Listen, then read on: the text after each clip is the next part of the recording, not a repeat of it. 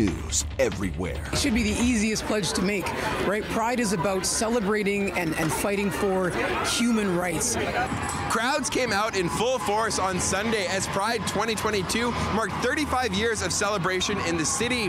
But some leaders say the longtime route of Portage Avenue, committed to this community by the incumbent mayor, must be recommitted to by whoever takes on the job. There are currently nine people running for the city's top job, with Brian Bowman not seeking re-election.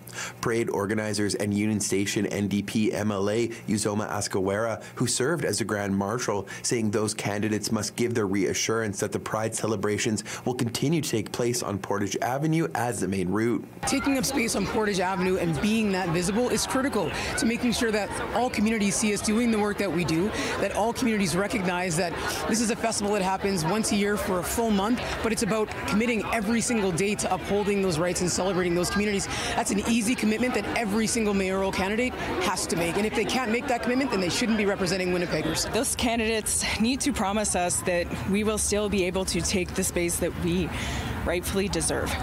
For now, at least two candidates, Rana Bokhari and Shaun Loney, are saying if they get elected, the parade would continue down Portage for the route. Organizers also stressing at the rally at the Manitoba legislature that while the event is a celebration, it's also a protest as community members continue to fight for their rights. 35 years later, there still is not equal rights for everyone in this community, and that's not right. We need to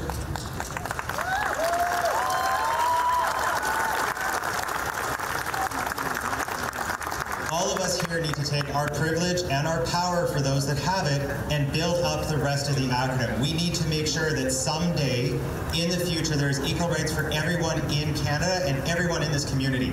And while those taking part say the event has come a long way in 35 years, its president, Barry Karlenzig, adds there is still much more work to be done.